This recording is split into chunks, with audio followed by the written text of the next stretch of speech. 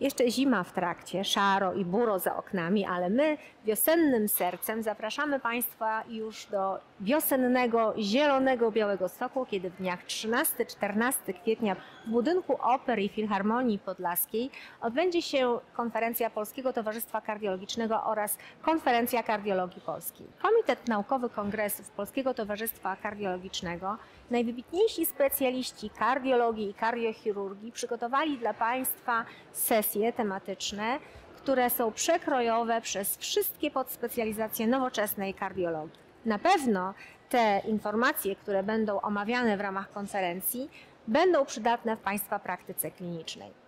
Będziemy omawiać wytyczne Europejskiego Towarzystwa Kardiologicznego dotyczące niewydolności serca, kardiomiopatii, ostrych zespołów wieńcowych, infekcyjnego zapalenia wsierdzia, a także postępowania u pacjentów z chorobami układu sercowo-naczyniowego i współistniejącą cukrzycą. Spojrzymy również w przyszłość i spróbujemy przewidzieć, co przyniosą nam wytyczne, które będą opublikowane, ogłoszone w Londynie w ramach Europejskiego Kongresu Europejskiego Towarzystwa Kardiologicznego i będą dotyczyły migotania przedsionków, nadciśnienia tętniczego, przewlekłych zespołów wieńcowych i miażdżycy obwodowej.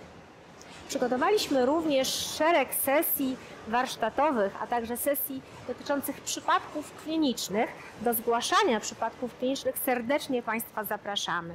Najlepsze przypadki zostaną przedstawione na specjalnej sesji. Przygotowaliśmy również bitwę na EKG między Białymstokiem a Krakowem.